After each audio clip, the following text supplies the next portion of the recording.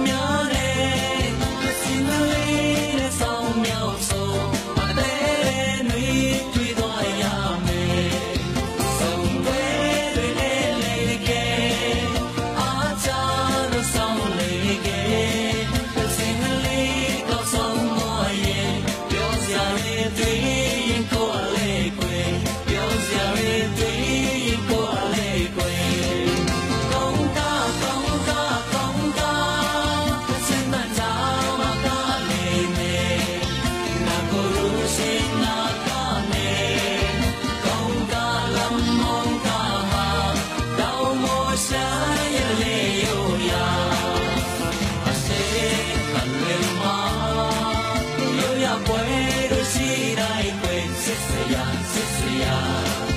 梦嘎浪梦嘎哈，让我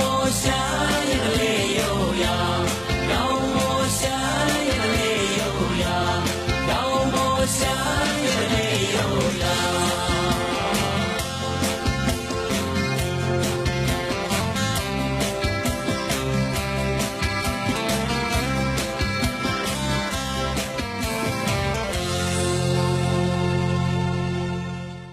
အဲ့ဒီဂုံပြညစာစားပွဲကိုအမေရိကန်အပါအဝင်တရုတ်၊အိန္ဒိယ၊ရုရှား၊တောင်ကိုရီးယား၊နယူးဇီလန်၊ဩစတြေးလျနိုင်ငံတွေအပြင်အာဆီယံဆယ်နိုင်ငံကအစိုးရအကြီးအကဲတွေတက်ရောက်ခဲ့ကြပြီးညစာစားပွဲမှာနိုင်ငံတစ်ခုချင်းစီအလိုက်ရိုးရာဒေသချင်းတပိုးစီကိုလာအိုယဉ်ကျေးမှုအဖွဲ့တွေကဖျော်ဖြေခဲ့ကြတာပါ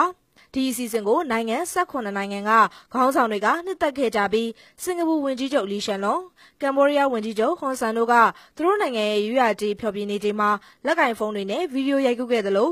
လက်တီသချင်းဖျော်ဖြေနေချိန်မှာဒေါအောင်ဆန်းစုကြည်ကလည်းကျင်းနဲ့နှစ်သက်ဟန်ပြခဲ့ပါတယ်။